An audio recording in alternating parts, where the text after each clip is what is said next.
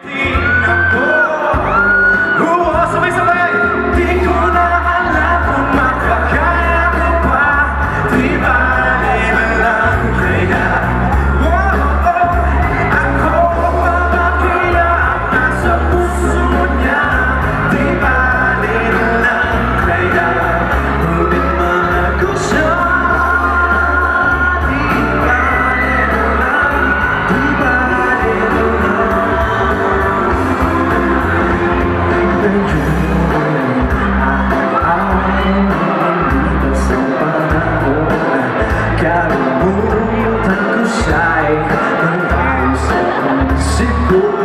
Di kaya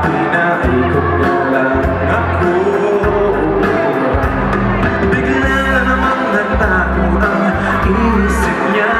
Nagkakataon ko ng mga sagot ko